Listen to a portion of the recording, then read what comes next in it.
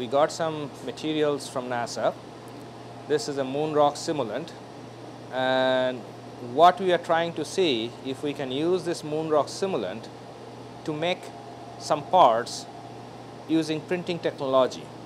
So we basically printed materials as if you can think of doing it in outer space.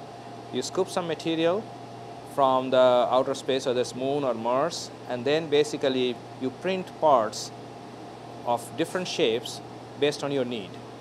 So this is basically a first generation work to show that the concept is real and if needed, whether it's a tool or simple mat or whatever you need, you can actually print it.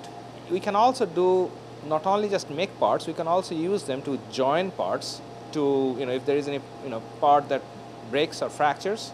So this technology can be used to actually join and make sure the parts that we send from Earth actually can work.